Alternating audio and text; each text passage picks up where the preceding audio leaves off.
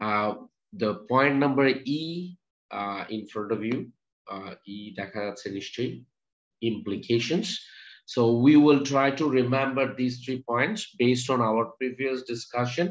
Uh, number one, that a nation which produces more than it spends will save more than it invests domestically with a net capital outflow producing a capital account deficit.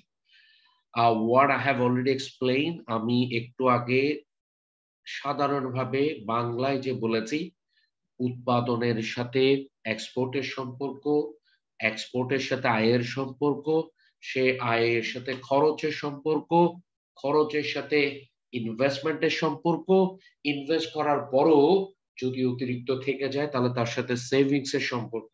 এই যে আমি একটু আগে এইভাবে যে কথাগুলো বলেছি, সেগুলোর একটা সিস্টেম্যাটিক প্রেজেন্টেশন হচ্ছে এখানে। প্রথম সিস্টেম্যাটিক প্রেজেন্টেশনটা কি? Just remember a nation which produces more than it spends will save more than it invest domestically with a net capital outflow producing a capital account deficit.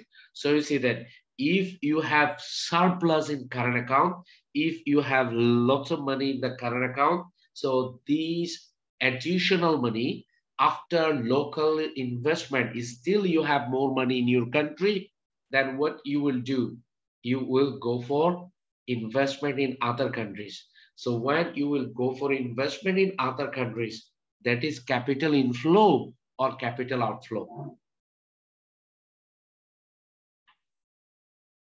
What is this? Capital Outflow. outflow. Capital Outflow. outflow. So capital outflow means capital account deficit or capital account surplus? Deficit, sir. Deficit. Excellent. Point number two.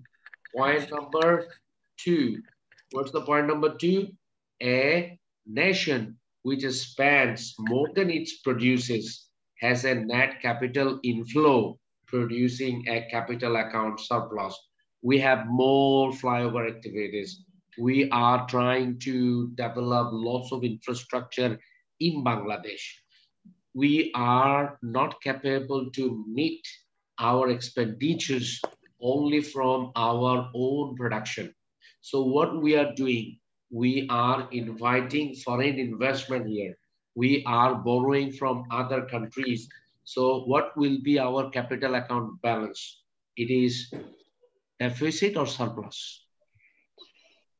Surplus. Surplus. Surplus. Surplus, because we have more inflows.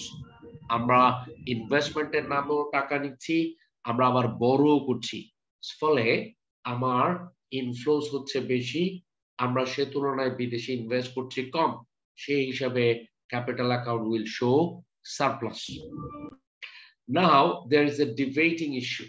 What's the debating issue? Number three is a debating issue. What it says, a healthy economy will tend to run a current account deficit.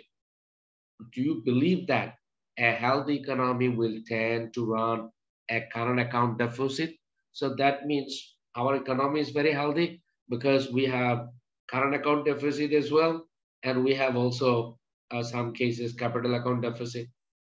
It says a healthy economy will tend to run a current account deficit means they have more imports than exports. So if you support it, then explain. And if you don't support it, uh, then also you can present your logic a- against it. Now it's your time.